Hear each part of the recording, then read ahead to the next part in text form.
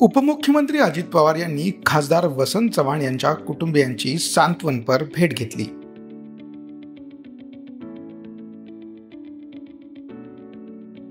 नांदेड काँग्रेसचे खासदार वसंत चव्हाण यांचं काही दिवसांपूर्वी अकाली निधन झालं. त्यांच्या निधनानंतर त्यांच्या कुटुंबियांची भेट घेण्यासाठी अनेक क्षेत्रातील मान्यवर येत आहे दरम्यान राज्याचे उपमुख्यमंत्री अजित पवार यांनी वसंत चव्हाण यांना श्रद्धांजली वाहून कुटुंबियांना धीर दिला.